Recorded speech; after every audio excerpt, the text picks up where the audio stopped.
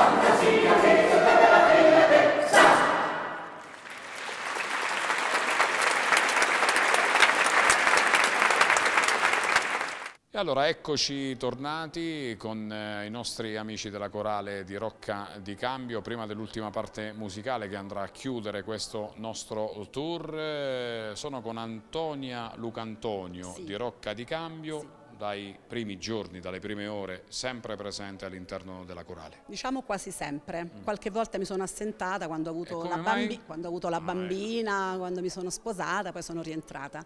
Però diciamo una delle prime, eh, insieme ad altri amici, nel 1980 a fondare il coro. E ovviamente vediamo adesso in primo piano, ma l'abbiamo visto nel dettaglio anche durante eh, l'esibizione, eh, l'abito caratteristico direi di quasi tutte le corali abruzzesi, poi ognuno di voi, Antonia, aggiunge qualche piccolo particolare? Diciamo di sì. Mm. All'inizio ne avevamo un altro, poi vabbè questo diciamo, è il risultato di diverse ricerche, e bene o male è venuto fuori questo qui con vari colori che si alternano tra il giallo, l'azzurro e il rosso.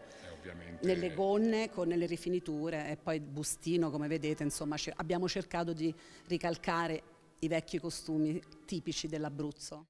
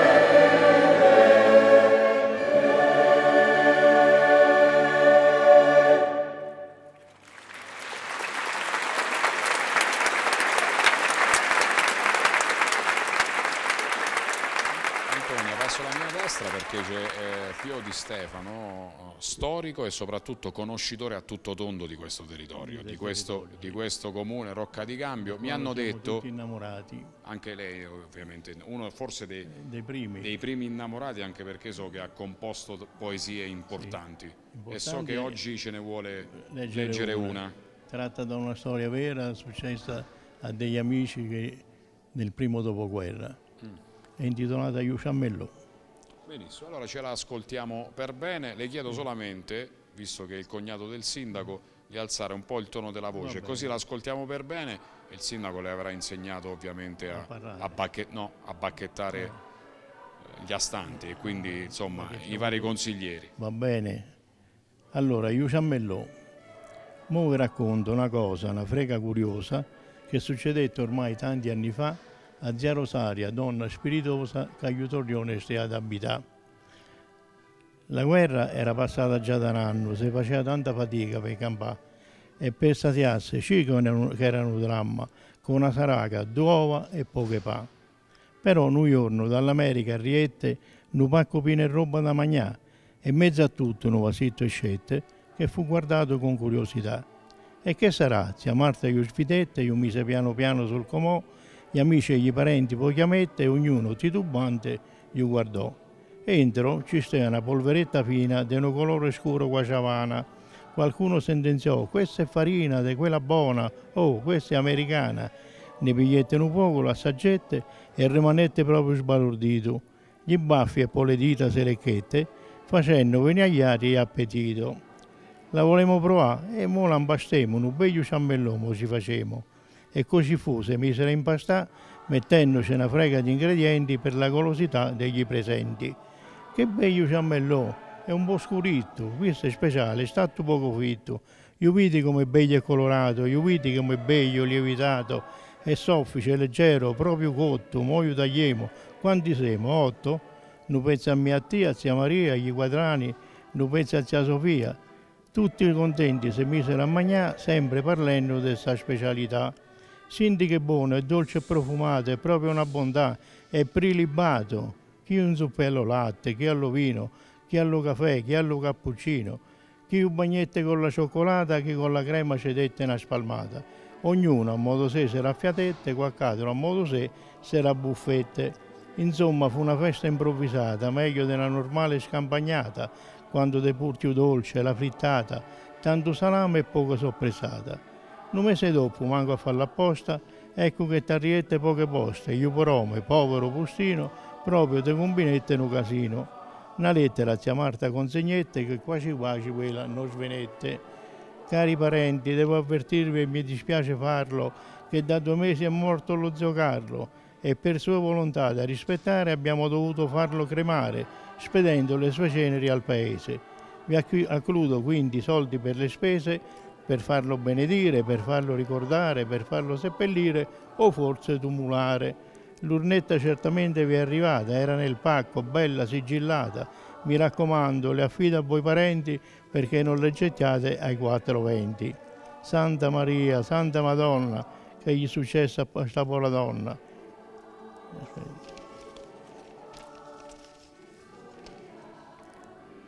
Sassettette scommorda sopra letto, un zuppetto con gli acidi un fazzoletto, s'appoggiette sopra la scanzia e cerchette chiamare quella della zia di corsa per le scale, trapelata, la pasima, il fiato trattenea, traminto che gli stomaco reggea, bussena a Rosaria e stillea. Apri rosame, sento da impazzia, attecchia poco, dammi un po' a sentire. Calma, ti assetta, ti muove, ti parla. Ti ricordi un pacco carrietta in mezzo a tutto un vasetto scette? Beh, Rosaria a me, come è successo, come sarà stato? Noi a Rizzo Carlo ci siamo magnato. Che cazzo sta a dire? proprio sicura, te pensi di dammi questa fregatura? Vorresti intendi che quella polverina era la cenere scagnata per farina? Ebbene sì, è proprio così, lo sta a capire che siamo combinato. Io porto Carlo, si usiamo pappato, busci alla croce, Santa Vergine me. Oh, ma se proprio è successo, pace all'anima sé. Allora, in, un, in una determinata strofa, diciamo, in un determinato verso c'era eh, una, una, una, parola da bippare tecnicamente, ma noi non bippiamo, innanzitutto perché è una storia vera e poi perché è tradizione. Rafforza, quello che uno dice. Ecco, assolutamente, assolutamente sì. Eh, insomma, non so se dirle complimenti o buon appetito. No, ma, insomma, buon appetito. Ecco. No. Davvero particolare, poi pensare che è una storia vera è, è particolare. Antonio. La protagonista bambina è la moglie di un nostro compagno ah, corista, bene. Ruggero, che sta al coro con noi, quindi è successo veramente tanti anni fa in Campania. È cresciuta con il ciambionato, ha fatto le ossa forti insomma, ha fatto le ossa forti, ha fatto in cenere, davvero. Allora, dopo questo simpatico racconto, che è una storia vera, senza bip, noi torniamo sul palco per ascoltare qualche altro minuto della corale di Rocca di Cambio e poi vi salutiamo. Appuntamento la settimana prossima, ovviamente sempre in giro per l'Abruzzo per ascoltare soprattutto non solo i cori ma anche un po' le storie eh, che circondano eh, il territorio non solo di Rocca di Cambio ma di tutto eh, l'Abruzzo. Un saluto enorme, fatevi ringraziare alla parte tecnica Mario Giacchetta e Maurizio eh, Miglione, non cambiate eh, canale anche dopo la sigla, rimanete su Rete 8 perché il nostro palinsesto ricco eh, è presente quotidianamente, vi farà passare delle ore davvero interessanti. Ci vediamo la settimana prossima, buttate il telecomando, non buttate il televisore, lasciatelo sul canale 10 del digitale terrestre dove c'è Rete 8. Buona serata.